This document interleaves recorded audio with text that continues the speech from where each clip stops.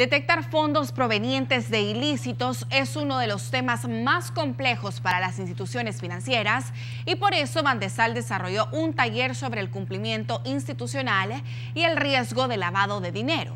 Lo importante es evitar delitos por omisión. Veamos.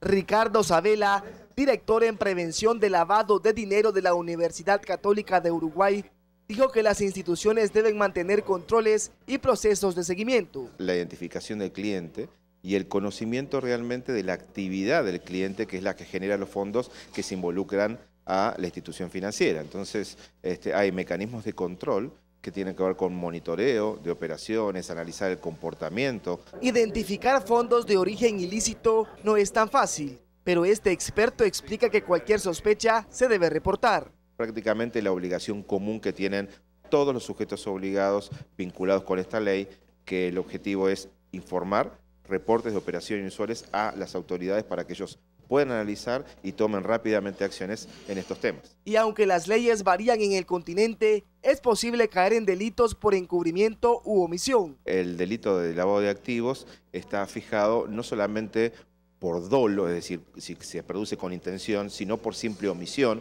por una omisión de cumplimiento de los deberes que le compete en materia de control. Por esto, la presidenta de Bandesal, Mélida Mancía, recuerda que nuestra legislación establece ciertos requerimientos.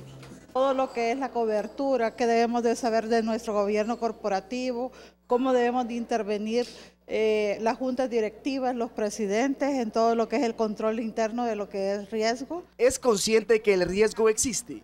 Por esto es importante realizar este tipo de talleres. Por supuesto, por eso nosotros consideramos que este es un aporte que van de salda a las instituciones financieras para que nos podamos eh, culturizar cómo se está dando en otros países o qué tipos de controles están ellos implementando.